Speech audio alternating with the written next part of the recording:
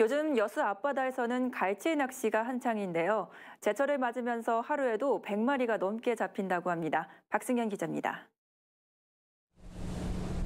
여수항에서 100길로 2시간 거리에 있는 작도 앞바다. 해가 넘어가자 낚싯배가 집어등을 환하게 밝혀 물고기를 유인합니다. 낚싯대를 들이운 지 얼마 지나지 않아 씨알 굵은 은빛 갈치가 펄떡거리며 올라옵니다. 낚시객들은 밤잠도 잊은 채 갈치 낚시에 푹 빠졌습니다. 지금 한 10일 가까이 완전히 대박입니다. 대박. 바늘 10개, 11마리까지 물 때가 있습니다. 그때는 아주 황홀하죠.